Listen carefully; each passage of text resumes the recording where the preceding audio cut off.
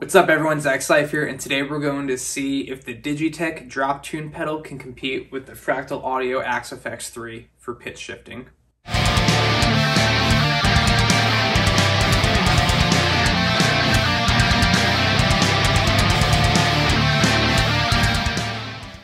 So what exactly is the point of today's video? Well, it's pretty straightforward. I have two units that can change the tuning of my guitar without me having to physically retune, and they are the Fractal Audio Axe-Fx 3 and also the Digitech Drop Tune pedal. The Digitech Drop Tune is a standalone Stompbox unit that has a algorithm inside of the pedal that allows me to detune my guitar a set number of half steps. So I can go from a standard guitar tuning down to E flat, D standard, D flat, C, so on and so forth up to an octave below. And the Fractal Audio Axe-Fx 3 has a pitch block inside of the unit as well that allows me to go up or down one to two full octaves depending on how far I want to go. So today we're going to put these in a head-to-head -head comparison where the only variable is what the unit pitch shifting is present in the signal, everything else is going to be exactly the same. So let's get started with a rig rundown and see how we're going to conduct today's test. So today's signal chain is the guitar running through the Fractal Audio Axe-Fx 3 into the main input in the rear. And I have the Digitech drop pedal hooked up in the effects loop of the unit and I'll show you how that's all routed. So just to show you guys what's going on in the routing of the unit today, I have the looper block first so that we can take a nice clean clear guitar signal and use that. And then I have a mixer block here which is going to allow me to just take the audio from the Axe-Fx pitch block or take the audio just from the Digitech pedal which is in the effects loop. So by hitting one control switch here you can see on the mixer that right now I'm just taking row 3 which is the Digitech. If I press that again now I'm just getting signal from row 2, which is the Fractal's built-in pitch shifting. So let's see if we can find any similarities or differences between the two.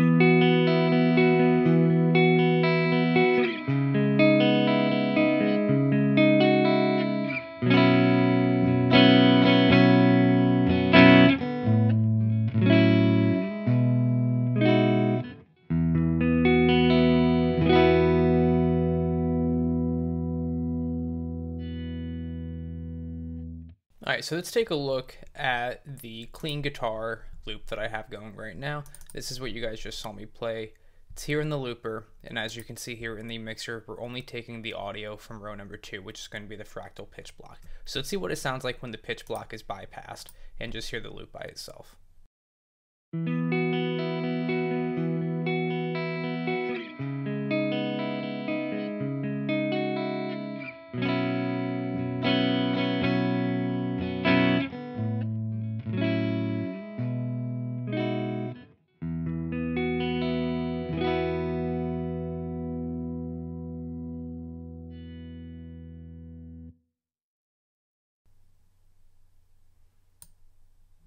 All right, now we're going to enable the pitch block and you should hear it kick in just a little bit. And I'll show you what I mean.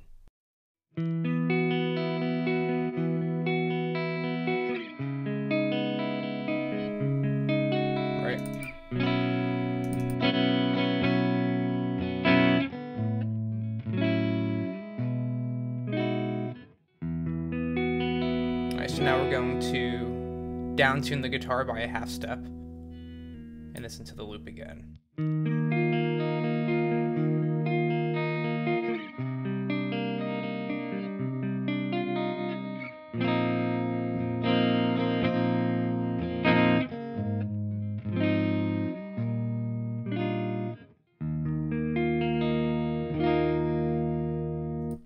So right off the bat, you can hear some warbling and some artifacts being introduced. The default settings for this virtual capo have the tracking at 5. For those of you who don't know, the tracking is how fast and accurate the algorithm can pick up the pitch of the guitar. So the closer to 0 you are, the faster it'll pick it up, but the more artificial and janky and laggy the sound is going to be. But the closer to 10, the longer the delay and latency that you have, but the cleaner and clearer the pitch is going to be. 10 is impossible to use live or tracking because it is so delayed. So let's set it to 2, which is a trick we used to do with the Axe-Fx 2 and the AX8, and see if that kind of helps stabilize the sound a little.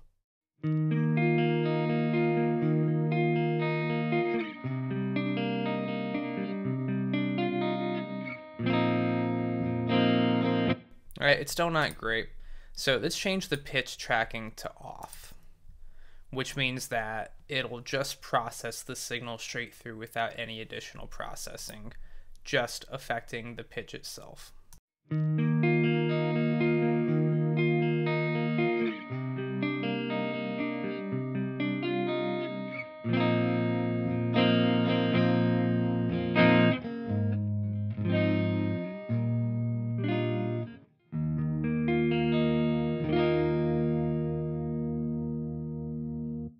Now, so far to me, that's the most clear and concise it's been.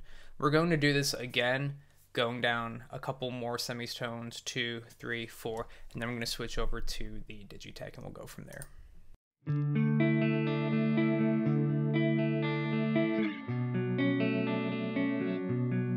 You can hear it's almost adding like a chorus modulation.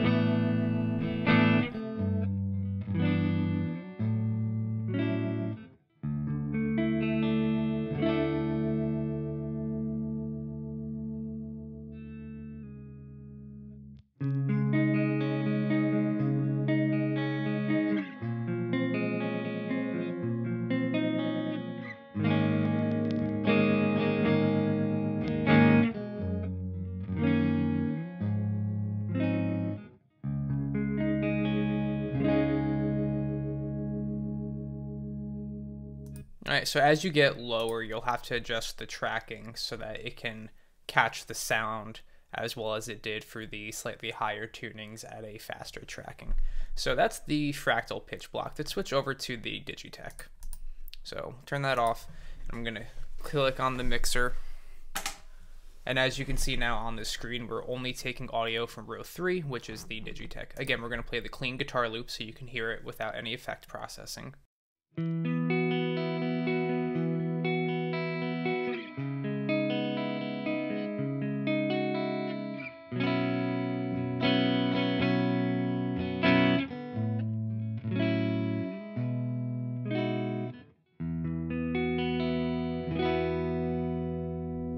All right, nice and clear. Let's turn on the Digitech.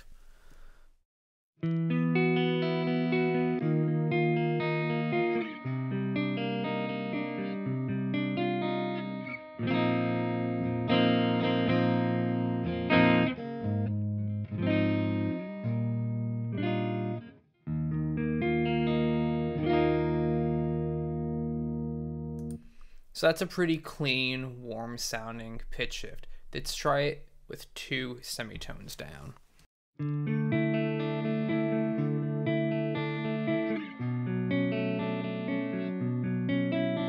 You can hear just a little bit of warbling.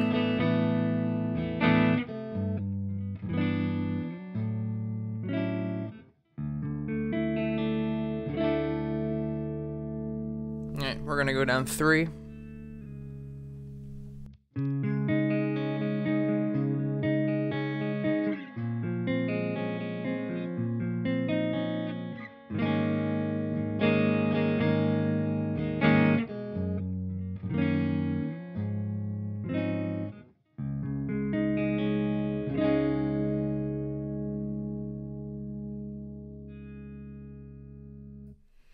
So so far overall, the Digitech is clearly doing a cleaner, clearer job of recreating these pitch shifting effects that we're trying to do, right? We're trying to drop the tuning of our guitar without actually manually tuning the instrument itself. So while the Fractal has more options in the unit itself, right? We take a look at this pitch block, right? The virtual capo is what we're supposed to be using to change the pitch of the guitar. But we also have versions of the whammy pedal that brings the entire pitch of the guitar down or up anywhere from a semitone to two full octaves. It also has different sorts of modulation effects that copy your signal and detune it up or down to create a chorusing type effect. We have all the different versions of this uh, delays. We have echoes and an, arpe- an arpeggio. Yeah. We haven't had. We even have an arpeggiator like you'd find on 80 synthesizers and keyboards, but the virtual capo itself, right? The pitch shifting algorithm itself, I still think needs a little bit of work to compare to how reliable and consistent the Digitech drop tune is.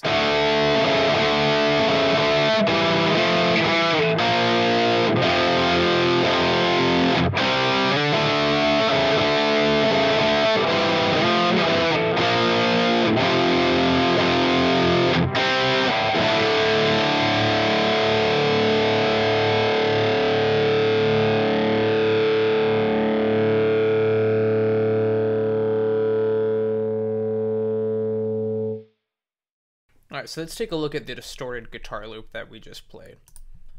We're going to pull up Fractal, and again, bypassing everything that's going on, we will listen to the loop one more time.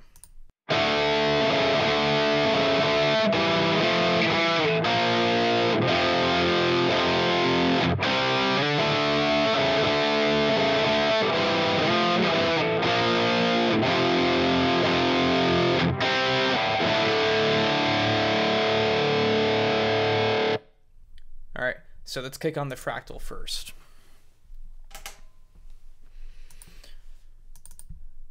We'll turn it back to zero and you guys will hear it kick in.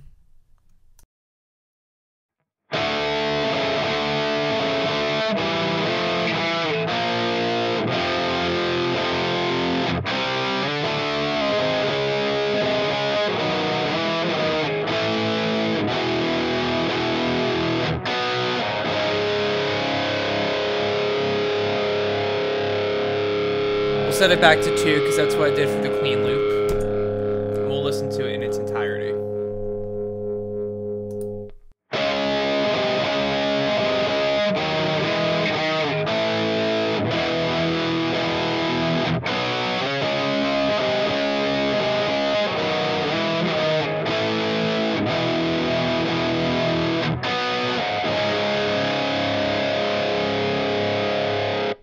Alright, so under a heavily distorted tone, it's really not that noticeable that there is a pitch shift going on. Let's go to minus two. We'll listen to it again, and then I'll do the same for number three.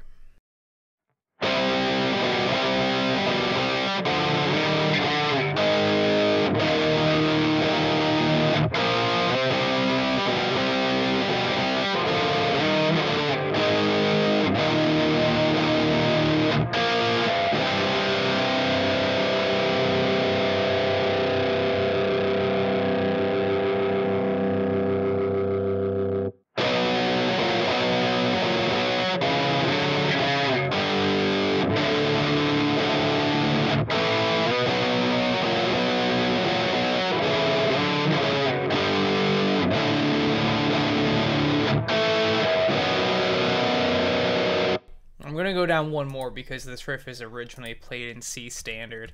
So we'll go down to four, we'll bump up the track into three, we'll just see how realistic it sounds.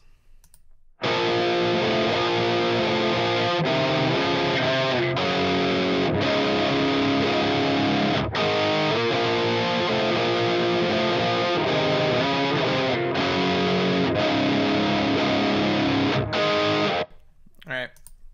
It's alright. Let's shift over to the Digitech and we'll see how that sounds. So again, over my mixer, click and get on. Now we're taking audio just from the effects loop. Again, we'll start with the clean loop.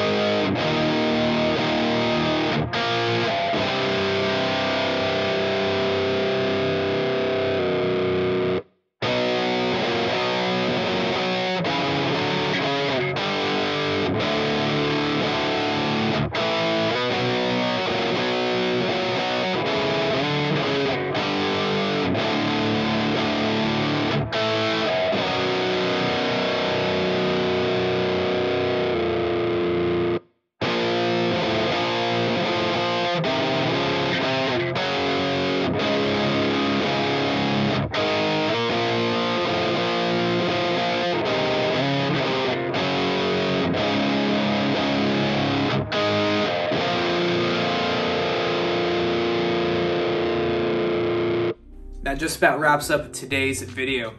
I gotta say, I'm very impressed that the Digitech drop holds up as well as it does despite being one of the oldest pitch shifting algorithms and units out on the market today. As far as I'm aware, it's the exact same processing and algorithm that was used in the original Digitech Whammy drop tune pedal, which came out in the mid 2000s, if I'm not mistaken. I'll post the actual year right here, making it older than any of the latest Fractal products, the Line 6 Helix products, probably the Kemper and the Quad Cortex, as well as the Neural DSP pitch shifting algorithm that is in the new archetype John Petrucci plugin, which I have not yet tried.